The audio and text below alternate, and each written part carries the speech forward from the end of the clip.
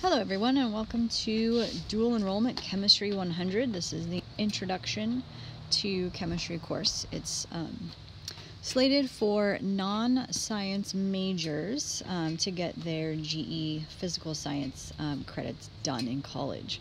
So we're going to start off uh, by taking a look at um, chapter one in our textbook, which is entitled The Chemical World. This chapter is just an introduction to all things chemistry.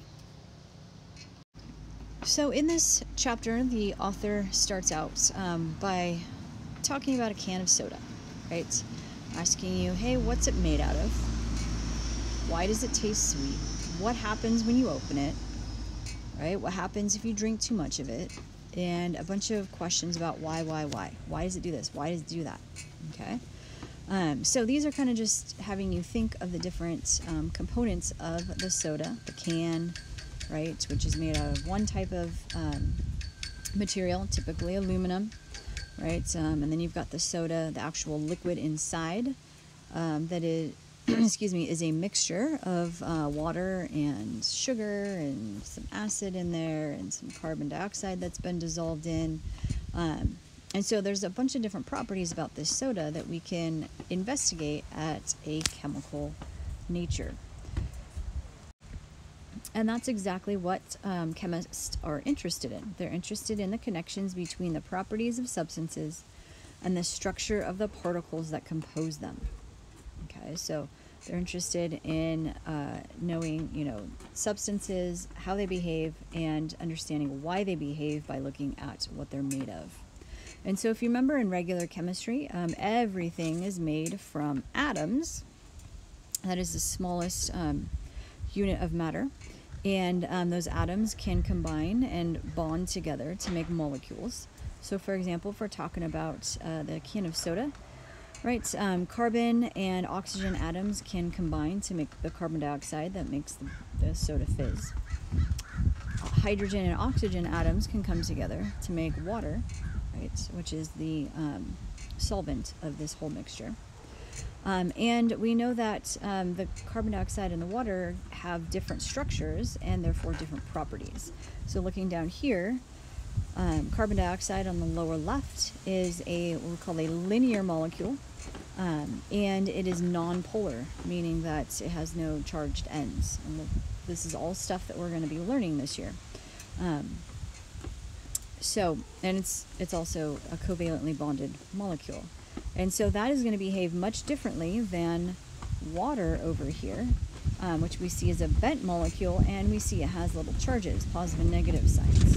And so that's going to behave much differently than our carbon dioxide molecule. And we see that um, in the fact uh, that the carbon dioxide does not mix well with the water. And one of the big reasons is um, A, carbon dioxide is a gas versus um, water, which is a liquid at room temperature. So that state of property is a big thing. But also, the polarity is a big uh, reason why they don't mix as well. Water is a polar substance, so that means it will only kind of interact with other uh, molecules that have the positive and negative ends, the polarity. And carbon dioxide doesn't have that. So carbon dioxide cannot stick to water. Therefore, when you open it up, all those bubbles start to come out. So we have different structures and different properties right? When we're making a can of soda, we're going to use pressure. It's another thing that we're going to um, investigate during this um, semester of chemistry. Um, going to use pressure to force the carbon dioxide to mix with the water, right? Um, and then when you, you know, pop the lid, that pressure gets released and the carbon dioxide gets to escape because again, it can't be held by the water because it's nonpolar. All right, so these are the different things that um, chemists are interested in figuring out the connections of why substances behave like they do, looking at what they're made of. So, you should know by now that uh, chemicals make up everything we come in contact with. All right, chemical is just a generic term for substance, for atoms, molecules, you know, compounds. And chemistry is um, Basically, the point of chemistry is to explain the properties and behavior of chemicals by helping us understand the molecules that compose them. So, you know, looking down here, this is a clear liquid, and this is a clear liquid. The one on the left is essential for life. The one on the right kills life. So, got to be something in the chemical property that makes up those clear liquids um, that gives it the the property and behavior that it does. Okay. So that's what we're going to be taking a look at in chemistry, taking a look at what substances are made of and why they behave the way they do. All right, so just a quick review of um, what we learned back in regular chem. All things are made of atoms. Atoms bond together to form molecules, right? Atoms and molecules are going to determine how matter behaves, and there is a direct connection between the world of atoms and the molecules in the world we experience, right? So the world we experience is a direct connection to the world of atoms and what's going on. Okay. All right. Um, so chemistry basically is a science uh, that tries to figure out how matter behaves by studying how atoms and molecules behave. All right, so you're going to see in um, the later half of this chapter, um, the author talks about the scientific method. The scientific method is kind of his general term of, um, you know, the science process of figuring out, you know, the connection between things by observing and experimenting um, with those with those substances. So the scientific method is just a way of learning um, that emphasizes observation and experimentation to understand the world. And so the key characteristics of the scientific method is one observation, two hypothesis, and a hypothesis is just a tentative explanation of the observations, kind of a guess about what's going on right? Um, and then we have experimentation. And through experimentation, we can figure out if we were right about our guess about what's going on. Okay, so here um, in this picture down below is kind of a really good um, visual of what's going on. So, you know, you observe something, hey, I wonder why that happens. Um, and then you kind of hypothesize, maybe it happens because of this and then you experiment. Oh, okay, can I make it happen because of this? Um, and if, and then you know, you come to a conclusion. And if you can't, right, then you're going to be going this way and you're going to be revising your hypothesis and making another guess of how it works and then doing the experiment again and getting a conclusion. If um, what you did experiment did make that thing happen that you observed, then you um, can go here to the left where your hypothesis is supportive and then um, you're going to reproduce the experiment to make sure that you can get it to do it again and again and again. Um, because real good science is repeatable and reliable, meaning that um, whatever conclusion you came up with is the conclusion that would be it would be the same conclusion if you did the experiment one time or a thousand times. Okay, so repeatability and reliability are super important in science. So important that when you do get, um, you know, repeatable conclusions that are very reliable, they become what are called theories and laws. So a law is something that summarizes past observations and can predict new ones. And a theory is an explanation for the observations and laws, like a, it's a model of the way nature um, is is going. Okay. So that's kind of the scientific method. Now, going along with this um, scientific method, the author has a little inset in the chapter, and it's a really good um, little story about um, back in the day, in like the 1700s, I believe, um, what um, you know, scientists and people, how they thought things burned. Okay, so the question back then was, why do things burn? They noticed some things burn, some things don't. So why do some things burn and other things don't? Right? So their observation um, made some observations, right? Um, like metals burn to form a calx. A calx is just this white powder um, substance. So if you burn a metal, you'll you'll get a calx or a metal oxide. Um, they didn't know it was a metal oxide yet, and so they just called it calx.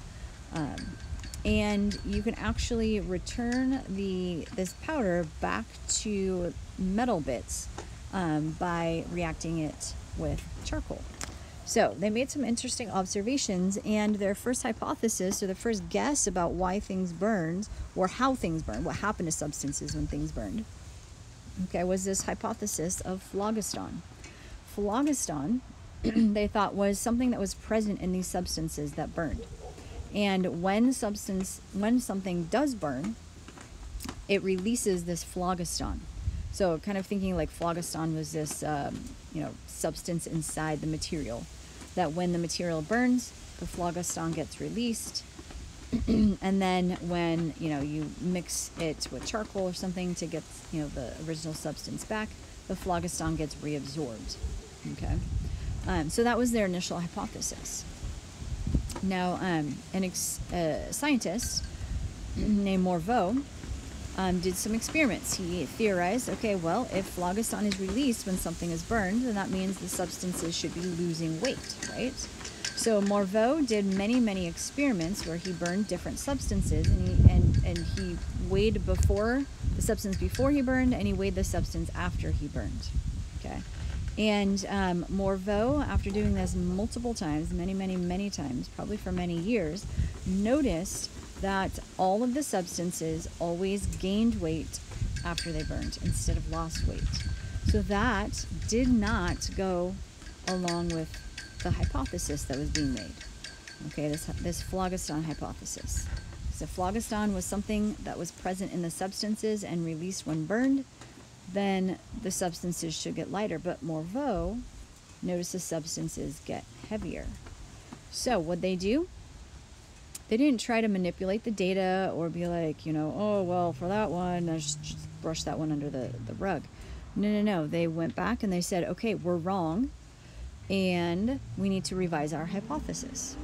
So looking back at you know Morveau's conclusion of things gained weight, then they have to figure out what are they what is this burning substance taking from air to make it gain weight right? Um, and this is where lavoisier antoine lavoisier who's a tax collector in france who um, was a hobby scientist. In fact he was such a hobby scientist and so rich because he was a tax collector that he had his own giant um, uh, science laboratory kind of in like the basement of his you know, a castle house thing, right? Um, and so he did lots of experiments at night on the weekends and whenever he wasn't working. Um, in fact, his um, wife also helped him. His wife helped translate um, uh, papers, you know, from other scientists into French, um, so he can understand. And they worked um, for many, many years on lots of scientific conclusions and experiments. And so um, one of these was this figuring out what's burning. And so Lavoisier, and your book does a much better explanation than I do. So Lavoisier actually built this huge contraption here to figure out um, what it is that um, things take from air when they burn. And basically, um, he figured out that, you know, it was oxygen in the air that makes things burn. And the oxygen gets um, reacted with that substance, and um, that substance is, that substance gains oxygen, and um, that's why it gains weight. So, um, through lots of experimentation, hypothesis, all that jazz, um, they came up with a theory of combustion that is still valid today.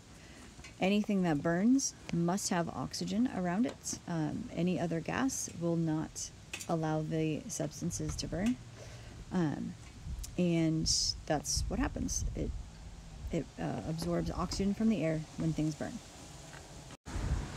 All right, so this last slide is um, a conclusion of the last little section of chapter one in your textbook, um, where the author offers some um, ways in order to be successful in chemistry.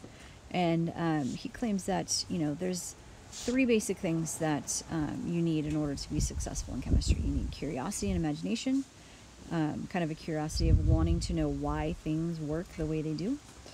Um, calculation, being able to do some math um, to help you know figure things out about how things work, and then commitment.